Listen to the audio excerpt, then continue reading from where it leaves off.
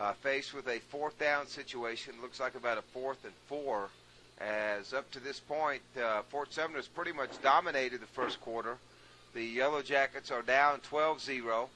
Uh, it would be a huge boost if they could pick up a first down right here. They have the ball. The Yellow Jackets have the ball at the Fort Sumner, looks like the 20, what would that look like? 27 28. 27 but, uh, 28 yard yeah. line here.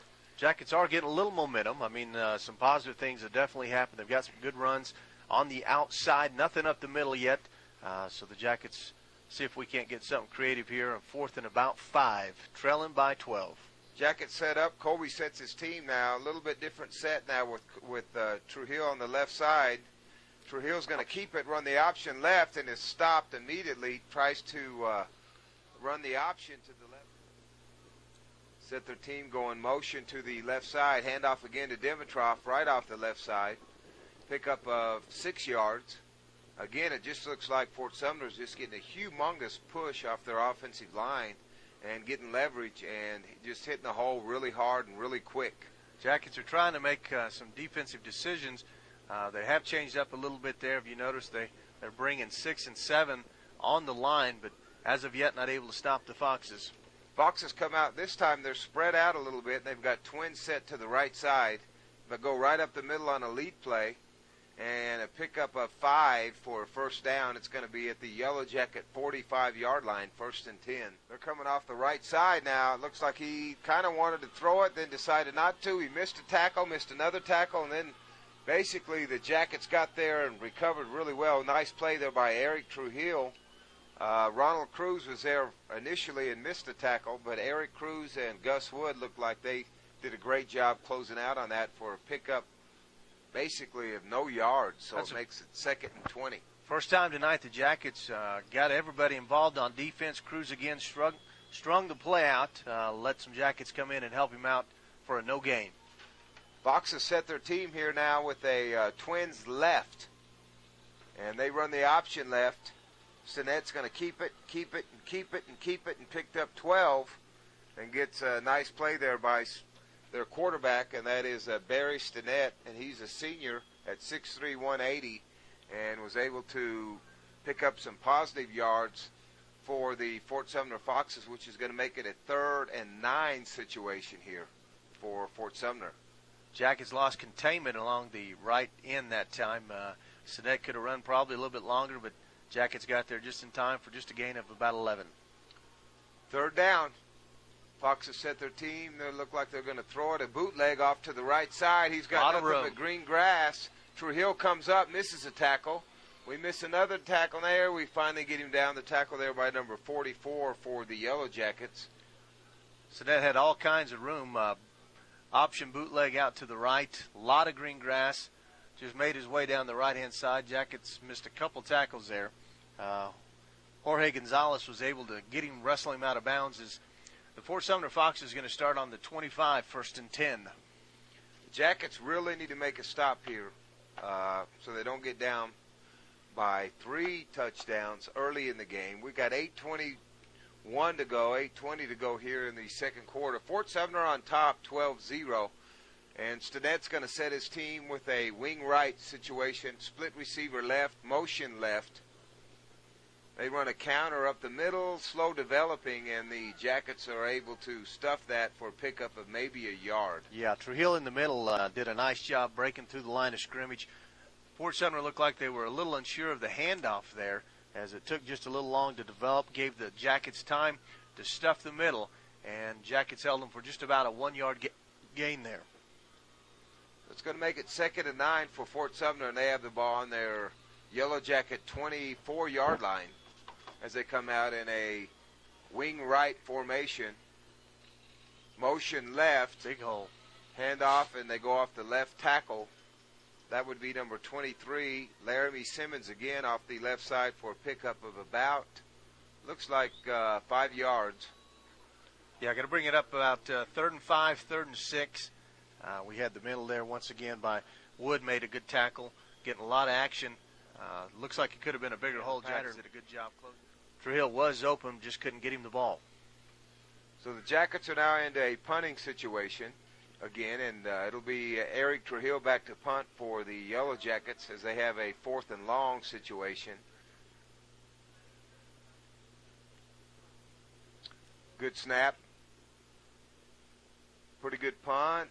Not great, but now the punt was fumbled, and it's still on the ground. Still on the ground. As Fort uh, recovered. Fort Sumner recovered there. Nice hit there by number seven for the Yellow Jackets. Yeah, Scott Rael made a good good play on the ball. Uh, the Fort Sumner Fox guy could not hang on to it. Bounced around set out to the right side and come up with Dimitrov off the right side.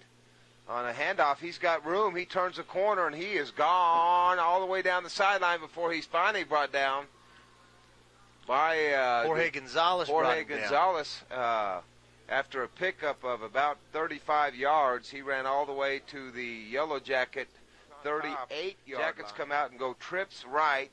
Three guys spread out right. Shotgun, split left. Trujillo's over here on the left side. Trujillo sets up, goes back, looks like a uh, maybe a quarterback draw, breaks one tackle, Needs to get outside. tries Out to break another and didn't, and uh, didn't get out of bounds either. So uh, I don't know if we're going to call a timeout here. We got 20 seconds to go, and then finally the Jackets do call timeout. Looks to me like he's at a little bit different level than everybody else out, on the football field. They come out in twins off to the right side. We look a little. Jackets look a little confused. They go right up the middle. Dimitrov with the carry. Dimitrov from the carrier pick up a, about four and a half yards. Diller made a good stop in the middle there. Along with Gus Wood. Pickup of about five, leave it second and five. We're in the third quarter now. The uh, again Fort Sumner's up 26-0. We're at 11:24 to go here in the third quarter. Fort Sumner breaks the huddle, comes out, and they've got a strong set up to the right side, a wing right. Send motion left and go quick pitch to the left side. And this is a very good play here, and that's going to be again number 23. That's Laramie Simmons for a pickup of about uh, looks like about eight to ten yards there as he gets down inside the jacket 32 yard line. You bet. Jackets right now need to uh, get a little spirit back in them. They look a little dejected. They're going to have to get a stop here if uh, we want to start putting a dent back into that score. Yeah, otherwise this this thing could turn into uh, a serious blowout here real quick. First down and 10 for the Foxes. They go right up the middle to Dimitrov, breaks a tackle, breaks another tackle, gets out to the right side and uh, slipped. If he wouldn't have slipped, it probably would have gone for a touchdown. yeah, but he, was did. home free right there. Dimitrov easily danced, went up, the play went up the middle, took it out to the right side. No one was going to catch him. Slipped on the wet turf, a break for the Jackets. Let's see if we can't capitalize here.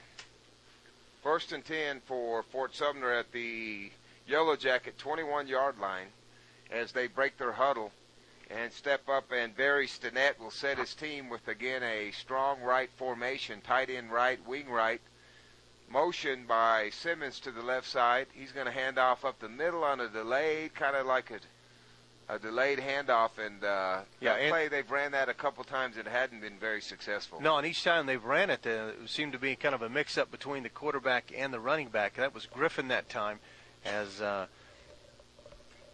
the Foxes had a hard time turning around finding his runner, and the Jackets able to, with that delay, to get a stop and uh, actually a loss of about one on the play.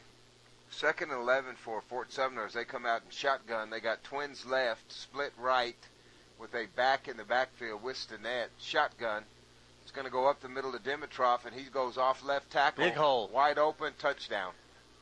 Big hole right there, just a simple Nothing. Nothing in the way. Wasn't even touched. Nope, Dimitrov ran. Behind him. Uh, opportunity maybe to uh, throw the ball a little bit. Yeah, we definitely got, got an opportunity to open it up, and that's what we're doing. Trips going to the right. Yep, we're in trips right, split left, Kobe Trujillo, and shotgun. Motion left by Obermeyer. We got the snap. He's going to roll out to the left side, Nice throws it out here. Nice pass. Caught there by number 34 for the Yellow Jackets, who does a good job and gets a late hit out of bounds as well. Picks up uh, all the.